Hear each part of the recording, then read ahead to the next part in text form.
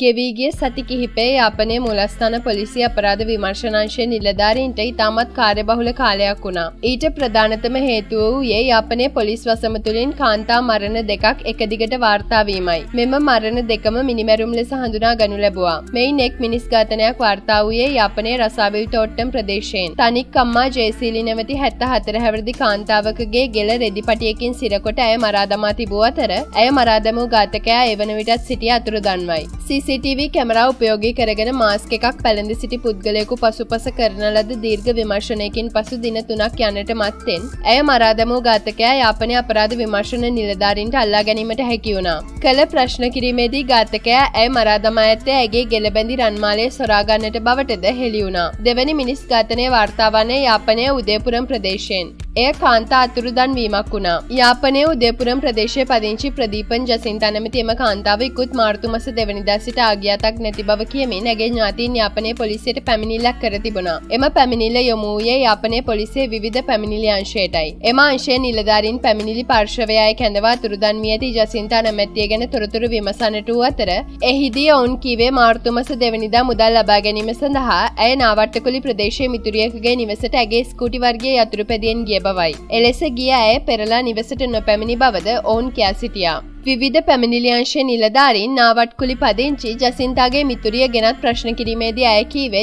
ජසින්තා සිය නිවසට පැමිණි බවත් මොහොතක් කතාබස් කිරීමෙන් අනතුරුව ඇය පැමිණි අතුරු පැදියෙන්ම පිටව ගිය බවත්ය. එතනින් එහාට කිසිවක් ඇගෙන් උකහා ගැනීමට විවිධ පැමිණිලියංශය අපොහසත් වුණා. මේ අතර විවිධ පැමිණිලියංශයේ විමර්ශන ගැන පැහැදීමක් නැති බව විදේශගතව සිටින ජසින්තාගේ සොයුරකු දැන සිටියා. ඒ ගැන කනස්සලයට පත් ඔහු ප්‍රංශයේ සිට දුරකථන ඇමතුමක් ඔස්සේ යාපනයේ මුලස්ථාන පොලිස් පරීක්ෂක ශම්ලි පලිහේන මහතා කතාව සම්බන්ධ කරගත්තා ඔහු මූලස්ථාන පොලිස් පරීක්ෂකවරයා වෙත දන්වා සිටිය තම සොඩියගේ අතුරුදන්වීම ගැන යාපනය පොලිසේ නිසි ක්‍රියාමාර්ගයක් ගැන නොමැති බවත් පැමිණිල්ලට අදාළ විමර්ශනය ගැන විමසීමේදී නිලධාරින් නිසි ප්‍රතිචාරයක් නොදක් වන බවත්ය. පසුව මුලස්ථාන පොලිස් පරීක්ෂකවරයා විධ පැමිණිලංශ ස්ථානාධිපතිවරයා කැඳවා එම පැමිණිල්ල සම්බන්ධ විමර්ශන ගැන විමසුවද ඔහු මූලස්ථාන පොලිස් පරීක්ෂකවරයාට කීවේ පැමිණිලි පාර්ශවය කැඳවා ප්‍රශ්න කරමින් විමර්ශන සිදු කළද ජසින්තා ගැන කිසිදු තොරතුරක් අනාවරණය නොවූ බවයි. මෙහිදී මෙහිදී ප්‍රංශය පදිංචි ජසින්තාගේ සොයරා මුලස්ථාන පොලිස් පරීක්ෂකවරයාට අවධාරණය කළේ සිය සොරිය අතුරුදන්වීමට පෙර වෙනත් අයකුට ලබාදීමට යම් සැලකිය යුතු මුදලක් රැගෙන ගොස් ඇති බවත් ඇය නාවට කුලිය ප්‍රදේශය පුද්ගලෙකු හමුවීමට ගොස් ඇති බවත් එම නිවසට ඇතුළවීමෙන් පසු තම සොරිය ගැන තොරතුරක් නොමැති බවයි. එයා ළඟ හැම දෙයක්ම ලියපු ඩයිරියක් තියෙනවා. ඒක දැන් තියෙන යාගේ පුතා ළඟ. ඒක සමහරවිට මොනවහරි තොරතුරක් තියෙන පුළුවන්. ස ඒ පැත්තත් පොඩ්ඩක් බලන්න. ප්‍රංශයේ පදිංචිව සිටි ජසින්තාගේ සොයරා මුලස්ථාන පොලිස් පරීක්ෂකවරයා හමුවේ වැඩිදුරටත් කියලත් කිව්වා. එතැන් පටන් නිතර නිතර නොයකුද්දේ කියමින් එම පුද්ගලයා මුලස්ථාන පොලිස් පරීක්ෂකවරයාගෙන් කරුණු විමසවා. ඉන් අනතුරුව ජසින්තා අතුරුදන්වීම සම්බන්ධ පැමිණිලි පොත සිය කාර්යාලයට ගෙන්වා ඒ පරීක්ෂා කිරීමටද මුලස්ථාන පොලිස් පරීක්ෂකවරයා පියවර ගත්තා. එහිදී ඔහුට වැටහිගේ එම ප්‍රකාශය ප්‍රශ්න කර ලබාගත යුතු කාරණා ගණනාවක් තිබුණද පැමිණිල සටහන් කළ පුද්ගලයා ඒ පිළිබඳව කිසිදු උනන්දුවක් දක්වා නැති බවයි. එමෙන්ම කාන්තාවකගේ ප්‍රකාශයක් පමණක් සාක්ෂයක් ලෙස සටහන් කිරීම පමණක් සිදුකර තිබෙන බව මුලස්ථාන පොලිස් පරීක්ෂකවරයාට නිරීක්ෂණය වුණා. එමෙන්ම එම පැමිණිල්ල සම්බන්ධයෙන් තමා විසින් නිලධාරීන්ට පෞද්ගලිකව දුන් උපදෙස් කෙරෙහි ගෙන ඇති ක්‍රියාමාර්ග ගැනද මුලස්ථාන පොලිස් පරීක්ෂකවරයා සෑහීමකට පත් නොවුණා. පසුව මේ සම්බන්ධයෙන් අපරාධ විමර්ශනාංශය බාර ස්ථානාධිපතිවරයා දැනුවත් කිරීමට මුලස්ථාන පොලිස් පරීක්ෂකවරයා කටයුතු කලා එම අංශය උපපොලිස් පරීක්ෂක ඉන්දික කැඳවා හුටද කීවේ මෙතන මොකක්හරි දෙයක් වෙලා තියෙනවා සමහරවිට ඔය ගෑනිව මරලද දන්නෙත් නැහැ මේක පස්සේ යන්න. මොනවහරි හොයාගන්න පුළුවන් වෙයි යන්නයි. එමෙන්ම ළමාහා කාන්තා කාර්යංශයේ රාජකාරි කරන කොස්තාපල් ප්‍රදේශද කැඳවා මුලස්ථාන පොලිස් පරීක්ෂකවරයා අතුරුදන් වූ කාන්තාව ගැන වහස් සොයා බලන ලෙසත් ඒ ගැන හෙළ නිලධාරීන් තමන්ගෙන් කරුණු විමසන බවක්ද කොස්තාපල් ප්‍රදේශ්ට තදින්ම කිව්වා. මේ අතර යාපනය පොලිසියෙන් කෙරෙන එම විමර්ශන පිළිබඳ සෑහීමකට පත් නොවූ යාපනය කොට්ටාස භාර ජේෂ්ඨ පොලිස් අධිකාරීවරයා ජසින්තාගේ අතුරුදන්වීම ගැන සොයා බලන ලෙස කොට්ටා සපරාධ විමර්ශන අංශයටද නියෝග කලා මේ සම්බන්ධයෙන් ගත් පියවර පිළිබඳව නියෝජ පොලිස්පතිවරයා මෙන්ම උතුරු පළාත් භාර ජේෂ්ඨ නියෝජ පොලිස්පතිවරයාට කරුණු වාර්තා කරන්නටද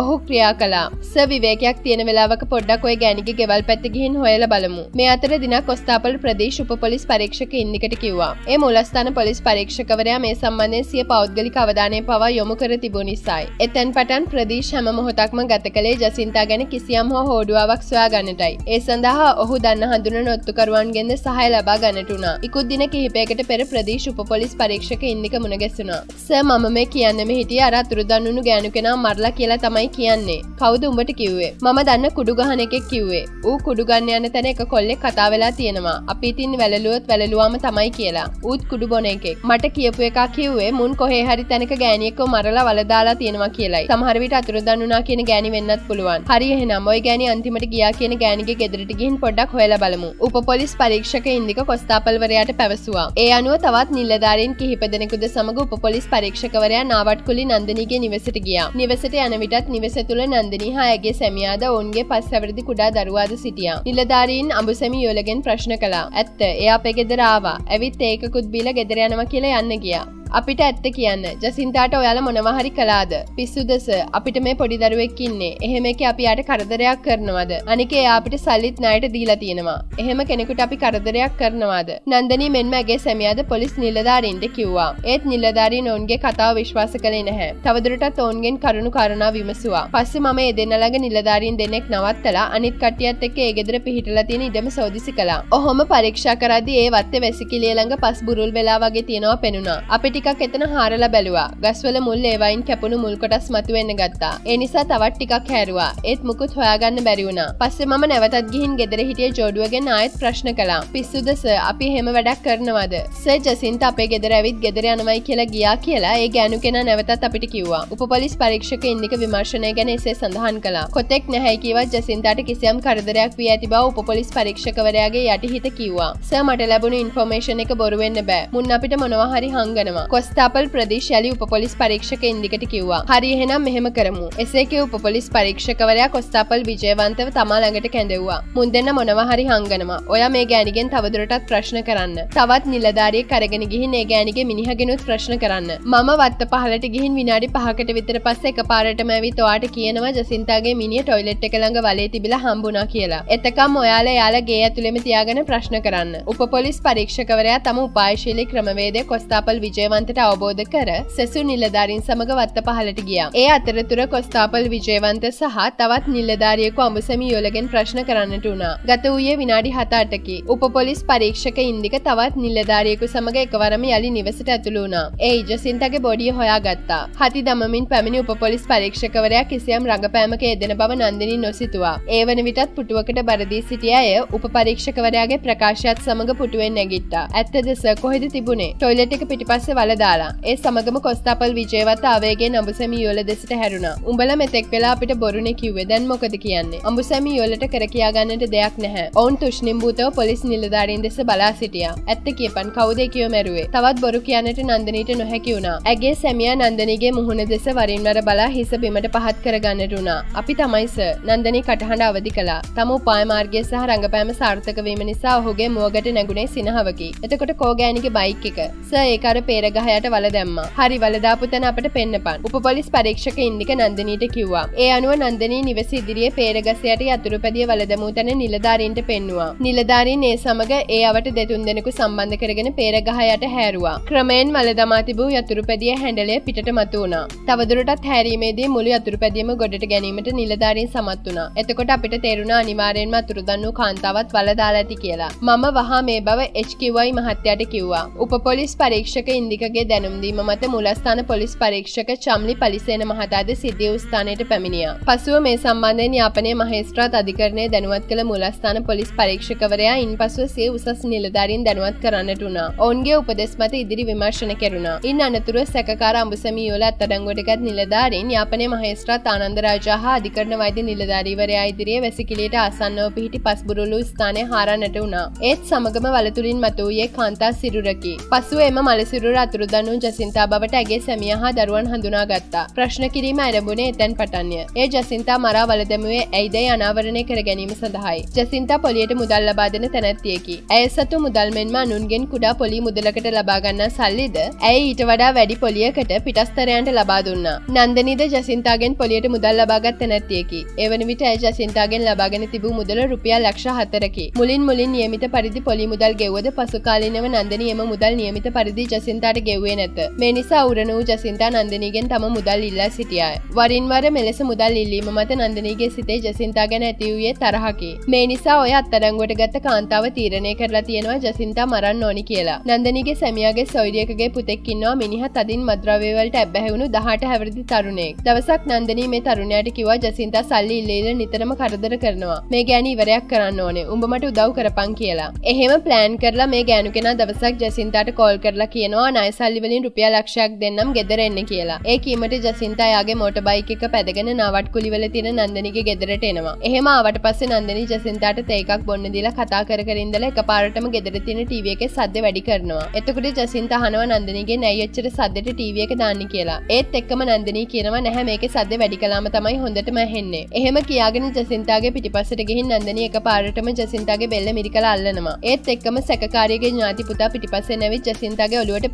පිහියකින් ගහනවා. ඒ ගහපු පාරට ජසින්තා බිම වැටෙනවා. එතකොට බිත්තිය ගහපු පරාලෑනයක් ජසින්තාගේ ඔලුව ඇනුනස එතකොට තමයි ජසින්තා මැරුණේ කියලා සැකකාරිය ප්‍රශ්න කිරීමේදී අපිට කිව්වා. මම තමයි සර් මේ දේ කළේ. මගේ මිනිහ මේ සිද්ධියට සම්බන්ධ නැහැ. එයා ඒ වෙලාවේ මේ ගෙදර හිටියෙත් නැහැ. නන්දනී වරද බාරගනිමින් නිලධාරීන්ට කිව්වා. එහෙත් ඇගේ කතාව පොලිස් නිලධාරීන් විශ්වාස කළේ නැහැ. තනියම ගැහණයක් මරා වල දැමීමට තරම් ශක්තියක් නන්දනීට නැති බව නිලධාරීන්ට වැටහුණා. ඇගේ ප්‍රකාශය ලබා ගන්න අතරතුර නිලධාරීන් ඇගේ සැමියාගෙන්ද ප්‍රශ්න කරන්නට පටන් ගත්තා. ඇත්ත කියපන් උඹයි ගෑණි එකතු වෙලා නේද ජසින්තව මැරුවේ. අනේ නැහැ සර් මම ඒ වෙලාවේ හිටියේ වෙන ගෙදරක. ඒ ගෙදර ඉන්නකොට මගේ ගෑණි මට කෝල් කරලා කිව්වා හදිස්සියක් ගෙදර එන්න කියලා. මම ගෙදර එනකොට ජසින්ත ගේ ඇතුලේ මැරලා වැටලා හිටියා. මේ මොකද්ද උඹ කළේ කියලා මම මගේ ගෑණිට බැන්නා. පස්සේ කරන්න දෙයක් නැතිම තැන මමයි ඔහු පවසන්නේ ජසින්තාගේ මලසිරුර තම ඥාතිපුතා සමග ගොස් වත්තේ වැසිකිලේ පිටුපස වලක් හරා වල දැමූ බව පමණයි. ජසින්තා ඝාතනයට තමා සම්බන්ධ නැති බවද ඔහු පැවසවා. ඔහුගේත් ඔහුගේ බිරියගෙත් ප්‍රකාශයන් මත නිලධාරී නොවන්ගේ දහට හැවරදි ඥාති පුත්‍රයා කොටු කරගත්තේ ඉන් පසුවයි. ඔහුගෙන් ප්‍රශ්න කිරීමේදී පොලිසිය අනාවරණය කරගෙන තිබුණේ ජසින්තා ඝාතනය කිරීමට සහය දුන්නොත් රුපියල් ලක්ෂයක මුදලක් සහ මත්කුඩු ග්‍රෑම් එකක් තමාට දෙන බවට නන්දනී නැන්දා තමාට පොරොන්දු වූ බවයි. මත්කුඩු පානයට ඇබ්බැහිව සිටි ඔහු මුදල් හා මත්කුඩු ලබා ගැනීමේ අපේක්ෂාවෙන් ජසින්තාට පහරදීමට එකඟ වී ඇතැයිද පොලිසිය පැවසවා. ඒ අනුව ජසින්තා නන්දනීගේ නිවසට පැමිණි මොහොතේ නන්දනී විසින් රූපවාහිනියේ ශබ්දය වැඩි කරන අතරතුර